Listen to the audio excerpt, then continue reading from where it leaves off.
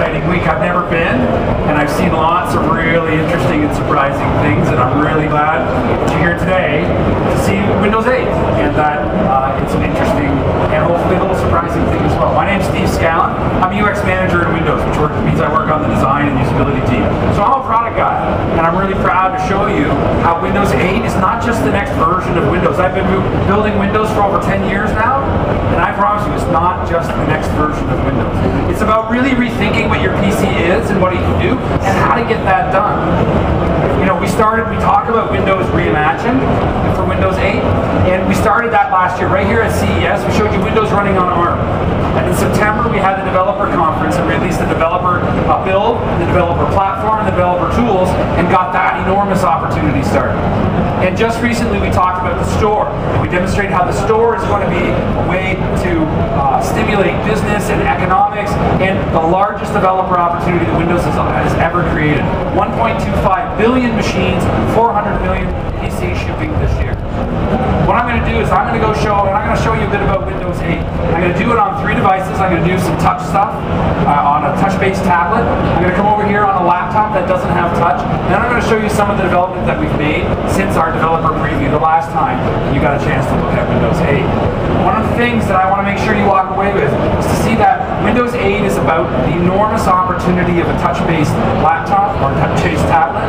It's about power and the flexibility and the efficiency that the same version of Windows has when I'm using powerful instruments like my, my laptop and my desktop. And it's a complete, no compromise PC. It has all, everything that I show you that's new, it has all the things that I expect from a PC that is essential to my life. So let's start off. First thing I'm going to do is I'm going to come over here. This is a this is a developer preview build. This is a touch-based tablet. It's the same hardware that we released at developer. The first thing I'm going to do, I'm just going to slide up from the bottom. One of the first things that you see, our first message is how much Windows 8 reflects you and the things that you care about. How a personal expression of yourself. This is my colleague Alice. This is her son Owen. And this is the picture that Alice chose to log on by creating three gestures with this picture. Her picture, her choice, and her gestures. She's going to have a secure and uh, reliable login. So I'm going to go, I'm going to touch the left eye, touch the right eye. I'm just going to swipe across the mouth. And there I am. That was log on. Logon. Logon that feels like it's built for touch in my finger in a way that reflects me. It's like a, a breath of fresh air to log in, right? I've been working in Windows for 10 years. I log in a lot. And I can tell you that feels like it's right for that moment in time. And you see us land right away on the Windows 8 start screen. This is the replacement of the start menu. The start screen is the collection of the applications, the websites, the people uh, that I care about. One of the first things that you're going to notice is how these tiles move these applications move and show me information right at this point. I don't have to go anywhere. I don't have to log into anything. I don't have to open anything to know that it's 54 degrees in Las Vegas. I can tell here that I'm getting a news feed update. I can tell here that it's going through my photos. And this helps me stay connected to not just the applications, but the data that they have in a way that makes it feel alive and connected. Because each and every day and each and every moment I log on connected, that information is new. So the start screen is alive with activity. And like something like Alive, I'm going to want to use it. I'm going to want it to react to how I'm using it in a way that makes it. So I'm going to do, uh, first off, I'm just going to show you this little dot here. That's my finger. I just turned on touch visualization so you can see where my finger is at. And all I'm going to do is I'm just going to go back and forth show you that this, this, like all Metro style UI built on our platform, super responsive, super attached to my finger, super fluid, fast and fluid to use. And I can go from the beginning of my start screen to the end, super quick, super fluid. Okay. Now, uh, I, you can see these are the applications that I care about because they're built, by the way, on our new developer web tech uh, platform, which is HTML5, JavaScript, familiar languages. And uh, like I said, these are the applications I care about, organized the way that I want them organized. I'll show you a bit more of that later. But to get another one. So I'm going to come over here, I'm going to open the store. What you see in the stores, here are applications that are already been developed, again, using the familiar technology of HTML5 and our development kit and JavaScript. These are some of the progress that developers made since the developer conference.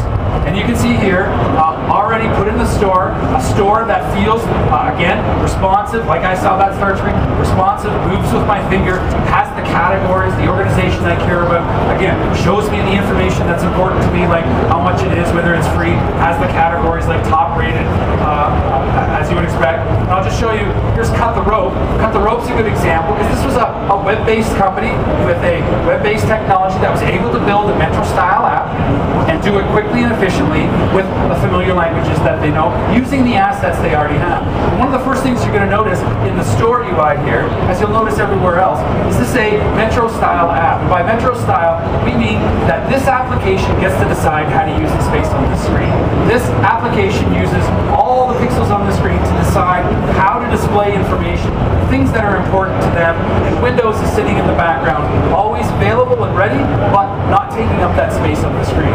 It's it's the opportunity of this any style Metro style application to decide how to present themselves to customers. So as I said, Windows is already always there. So I'm just going to swipe in. What I'm going to do, I'm just going to take my hand, I'm just going to pull in from the right, and here's Windows. Always there, always ready for me. The promise of what Windows is is to help connect you to applications, help connect applications to each other, help to uh, take data and information, move it and search across it the way that you'd want it to. So we see search, share, start, devices, and settings. And I'll go into uh, each of those a bit later. Right now, getting back to that start screen, it's as fast as doing that. Swipe in, and there and there I'm back. And like any application, I'm just going to open eBay. Here's another application. This is also a Metro style application, but using, uh, again, using the same technology platform, but eBay deciding, making a decision about how best to prepare its content, how best to use the performance and stability of that platform to create an experience that's right for eBay, that expresses eBay in the way that it wants to. And again, anytime I want to, I'm always just back to where I need to be.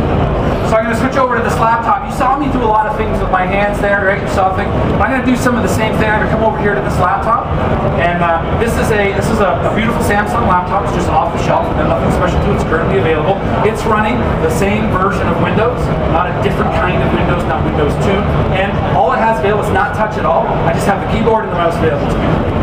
And I'm going to go walk through and show you how the flexibility of using those things also is reflected in Windows 8. So one of the first things I noticed, here I'm on that lock screen, and one of the things that we've given you the ability is here are applications that have data that I care about, that I might want this state, and I've allowed my mail and my calendar app to tell me that I have things waiting for it there without even having to do anything. What's more efficient in getting information? I didn't have to do anything.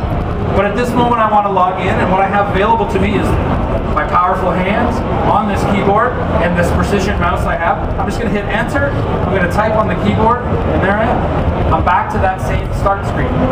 And at this moment, with the devices that are available to again, this keyboard and this mouse, just like you would expect, how would I expect to move around Windows 8 in this state when touch isn't available to me? Well, surely I'm just going to pull the mouse, and there's our familiar friend, scroll bar.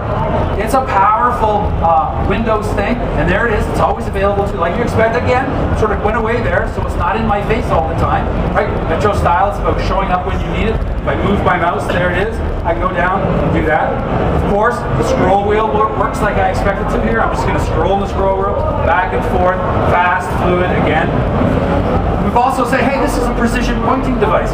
Why can't I just take that and just put it at the end of the screen? So here I am, just going left and right, hitting the, the, the, the precision that is my mouse pointer to left, right, moving back and forth. Hey, it feels like that's a way to move around that start screen that feels right for this kind of input, right? But we wanted to make sure when kept thinking about being as, as efficient as we could.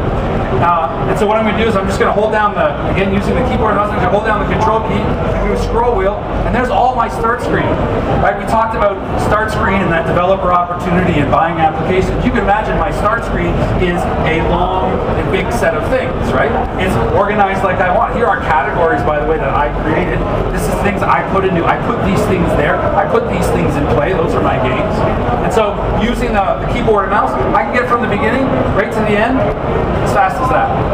I can get to the end, right to the beginning, as fast as that. I can do all the same things that I should be able, that you would expect to do with that uh, less precise device, my finger with the mouse. I can take this application, I can put it where I want in the category I want. And again, making sure we're always thinking about being as efficient as possible. I just take that and put it down at the bottom. There it is, right at the end. At the end, back at the bottom, there it is, back at the beginning. So again, feels right for the kind of device I have available to me. Alright, oh by the way, I can also get that, I can take the entire category if I wanted to and move that around, right? Creating that start screen that again is important to me in the way that I, I want it to be. Now, back at the start screen. And as you can see, Windows 8 offers complete uh, backward compatibility with Windows 7. It ran in Windows 7, runs in Windows 8, and uh, there are some important applications, uh, that, or some applications that are important. Here's Microsoft Excel. This is the Excel that I use all the time. This is PowerPoint. I work as part of the design team. PowerPoint's an essential tool for me. I want it in the start menu right beside my new modern or my new Metro style apps that are also important to me. And how would I expect to be able to get get to Excel? Well, you know, well, I would be able, I would expect to be able to find it and browse to it just like I did with my finger. But I have the keyboard here, and I want, I want to just be able to do this. So type in. There's, I just type those three letters. You can see we filtered through all programs on your PC. There's Excel, enter, and that's Excel. That's that's the Excel I know that I love. That's the Excel in the environment that I'm productive with it, right? And this is the desktop that you're familiar with. This is the taskbar, not a kind of taskbar or version of it. This is the same taskbar that you know. So here I can open PowerPoint, I can pin applications, I switch between these things, again, using these precision instruments in these applications that are part of being essential in my everyday life. I can go back and forth. Everything that's been available to me before is available to me again. I can maximize, minimize, I can snap something to the right. And, you know, and all the set, again, all those Metro style applications are still really easily available to me. Again, I just go back to start. I'm just going to open a video here. I'm going to do a little extreme paragliding. One of the things to notice here again, here's a commitment to beautiful HTML5. This is a 16 by 9 app running in HD. takes up every pixel on the screen, looks beautiful. But in my work, I want to be able to know that I can get to the things that are important to me. So one of, one of the tools that I use, I, I know everybody doesn't do it. Alt tab's still important to me. Look, here I'm back in PowerPoint. Right? Back and forth. I want that video again. There, I'm back to the video. I want Excel.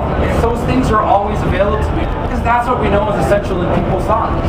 Now, I'm going to show you a scenario here that's actually important to me. I hope my boss isn't around. So I'm a transplanted Canadian, and I live in Seattle because I'm part of the product team.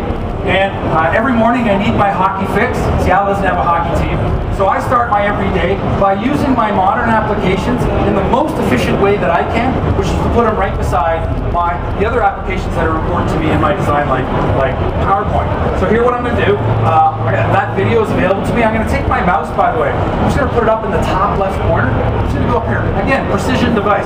Take that, throw it up there in the top left. Look, there's that video right? There's that application. I can put it here, I can put it there. I'm gonna snap this there. So you need to picture this. This is my morning, each morning. This is ESPN. This is showing me all my hockey highlights from the night before. Now, there's a lot of teams I'm not a fan of. I'm from Toronto, so Toronto, uh, greatest hockey team ever. They're gonna take it this year. I know it's been 65. When it gets to Toronto, I'm gonna make that bigger because I really wanna see all the Toronto highlights I can. And when I'm done with Toronto and I'm watching whether they lost or not, I'm gonna put that back, do that. There's my desktop. By the way, it's all of the desktop again. It's all the taskbar. Okay, there's a there's a view of Windows that you not. I snap these two apps together. They're PowerPoint. And when I'm done with my hockey highlights, or when my boss shows up in the morning, I'm just gonna grab that and just make it go away. Right? And that desktop always available to me. So it's not either or. The most efficient thing, the most efficient multitasking is just looking. Right? So I don't even have to do anything, and I can get that best of both worlds working together the way that's essential in my life. All right, go over here